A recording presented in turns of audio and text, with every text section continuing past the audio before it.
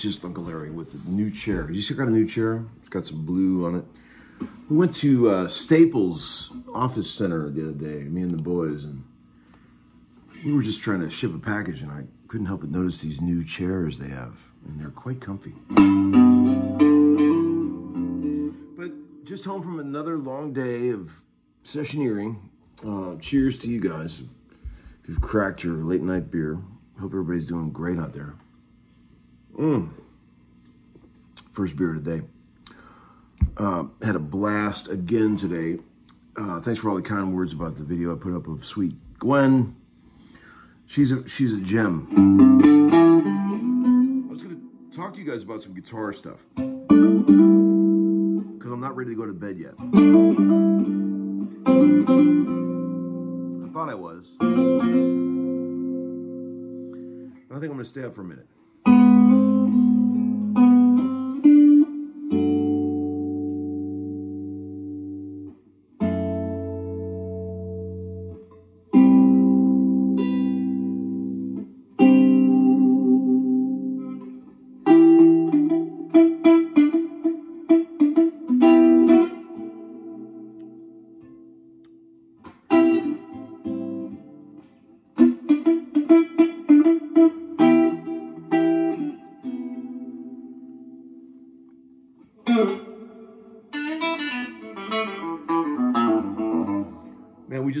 Track the other night on the way home from work. Me and Gordon. I, I drive Gordon to uh, the sessions, drive him home at night, and we talk about music, as you can imagine. We listened to "Keep Forgetting" by Mike McDonald. Man, what a funky ass track.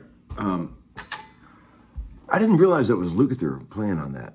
Uh, there's two tracks of guitar that are really funky, and uh, there's one with a real heavily processed, uh, like sort of uh, digital signal processing on it. And then there's another track where he plays these funky ass, like he's all like,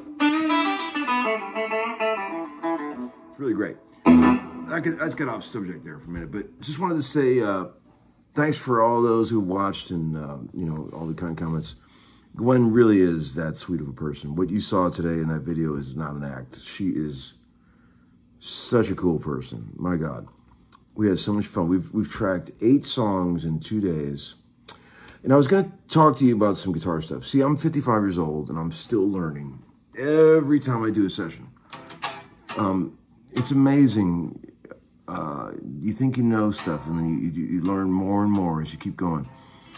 See, like a lot of times when you're in, you're doing a session, you'll be playing electric and you'll be out of view of the producer. The producer's at the console and they may not be able to see what guitar you're playing or, or what you're playing through, right? So they're really just judging strictly on what they hear, which is what I prefer, to be honest. And uh, I always pay attention to what producers notice. Like, I've always done this. Like, I'll pull out a guitar, I'll start playing it. If I don't hear any feedback, if no one's like, dude, that's a sick sound, like, I'll try something else. You're always reading the room and you're always like sort of fishing for like someone to go, dude, that's it, you know? And uh, I only brought five guitars to the session. Okay, for two days of tracking, eight songs, I brought a Princeton Reverb, which I used on every song, turned up to three, um, two mics on it, an old Sony C37 and a 57, and it sounded amazing. I mean, um, I was covering tons of, you'll hear the record when it comes out, covering so much ground. And it was all through that little pitiful amp. And uh, uh, I brought my white sin Strat. I brought my Burst. I brought this old Jag Jaguar. I brought 57 Special, 58 Les Paul Special. I'll show you in a minute. And I brought, uh, uh what else did I bring? Uh, oh, a 60, 6335, okay? Played them all equally. They all got a lot of uh, playtime, but the guitar that producer Scott Hendricks kept noticing was this. Every time I would pull this thing up, he was like, dude, I love that sound. So, you know, a Jaguar, do you realize that the Fender Jaguar was Fender's top of the line guitar when it came out?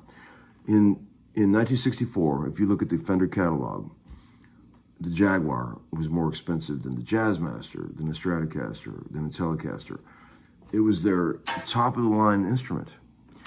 And uh, I've owned a bunch of these over the years. I've owned a bunch of Jazzmasters. People put these in the same drawer as Jazzmasters, even though the pickups are totally different.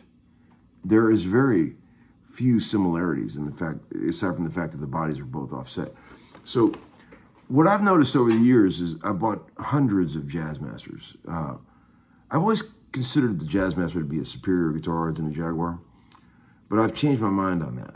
Um, this is this pickup sound is more usable to me in the studio than a Jazzmaster by a mile. What I mean by that is like both of these guitars, the Jazzmaster and the Jaguar, have very distinctive sounds that you cannot get out of any other instrument. Nothing sounds like a Jazzmaster and nothing sounds like a Jaguar two totally different worlds, but they are very different. Although when you when you sit and play a Jazzmaster in a room and you flip to that middle position where, where it's hum canceling and everybody loves it, it's an awesome sound. It's the ultimate in twang, the ultimate in sort of Western. It's unbeatable. You know, you guys have heard it. It's, you know, the, the, the low, clean notes you get out of those are very baritone-ish and I don't particularly love the way Jazzmaster distorts, to be honest, but they have an awesome clean sound, in my opinion. Um, but I've noticed over the years that Jazzmasters are harder to fit into a track when you're working with a fucking golden ear producer than than you would think they would be. Like I, I I've been on plenty of sessions where I'm I play an old Jazzmaster and I try to do you know, one of these sort of like, you know, like one of these kind of vibes, you know. Or like, and everyone's like, that's a, that's a really cool sound, but it's getting canceled by the bass, or it doesn't quite, I have to turn it up too loud to hear it. I've noticed that with a lot of Jazzmasters.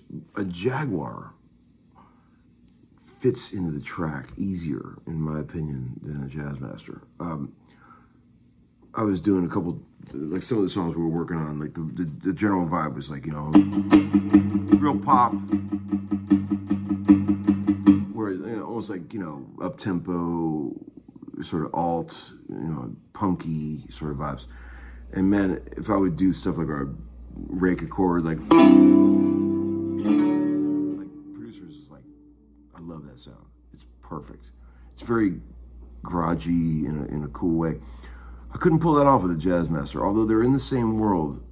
The, ja the Jaguar is more usable, in my humble opinion. Another guitar that, that he was loving, uh, every time I put it, every time I put it on and played it, he was like, "Dude, that tone is unbelievable." It was the, the the special, but I was using the middle sound, both pickups, and when you do that, it's an amazing sound. We all know how boinky and cool, almost Stratocaster vibe that is when you gas both pickups all the way up on a special and you play big American, you know, chords. Uh, you have to add some high end, you know, artificially. Like I'll, I'll use just I'll like take my like, light speed pedal and turn the treble way up to give it a little bit of presence, you know. But like, let's just say for example, like just as a rough sound without the added high end, you know.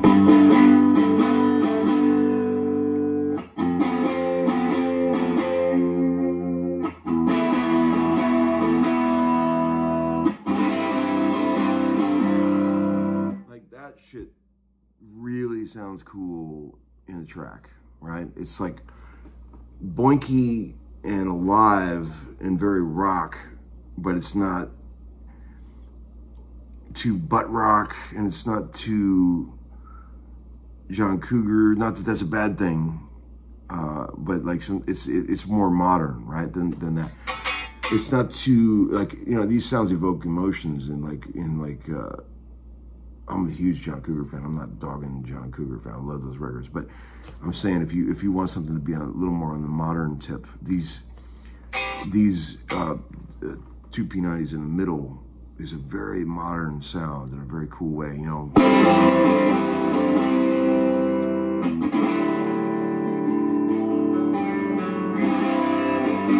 You know, pickup design and the guitar design in the 50s is very modern sounding when you use it like that. So, you know, it's funny, you, you notice what people, and, and, like I used the burst on a bunch of solos, and Gwen loved that. She loved the sound of that guitar, and, and the producer loved it. And uh, but these quirky sounds are sometimes more usable than an amazing sounding 335 or a burst. Like these sort of, um, you know, a little more personality in these types of sounds, you know. This is for the session players out there. I'm not talking about, you know, the bar band guys. You can't really get away with that when you're, I'm saying when you're, when you're making records, you know, because eh, like you try to get away with these kind of sounds like on a bar gig and it's just that it needs to be very subtle that, where you can really fuck with the EQ. The best shit on a bar band gig is just a Les Paul turned up with a bridge pickup, you know, you can really hear it. That's what really gets you heard in a bar, you know. And that's good too when you need it. But this would be too flabby and too much low end to get away with on a bar gig, you know.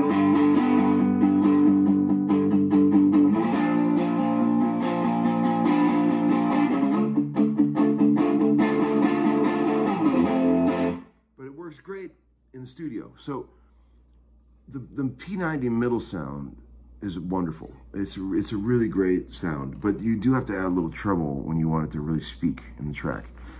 And uh, and I'm gonna say one more thing, and I'm gonna hang up because it's getting too long. Um, I've, you guys know what a fan I am of the old Gretsch guitars. Um, I've got a couple of great old Gretsches that I love, and the the go-to sound for an old Gretsch is like that sort of high lonesome sound.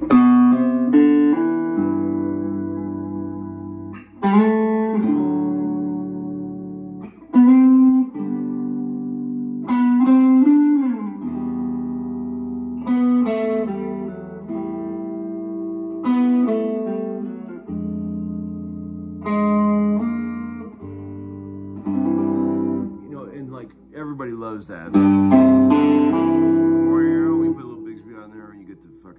Lonesome sound. Here's the thing though.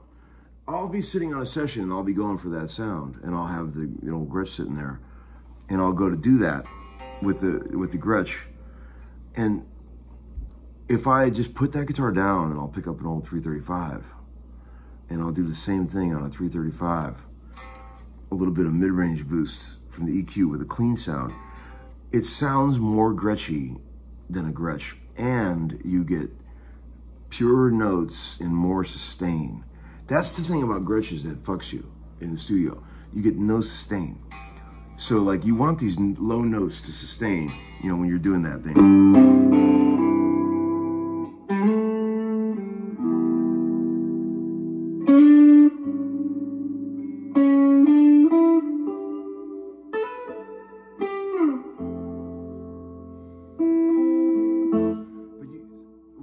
Gibson, you can really hear how long notes hold out and you can make it sound so Gretschy that you, you don't even want to play that Gretsch.